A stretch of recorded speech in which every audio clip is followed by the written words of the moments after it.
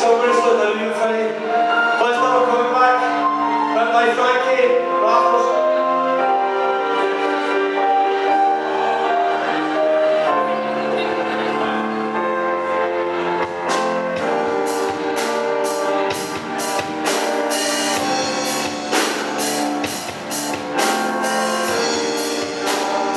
Got it.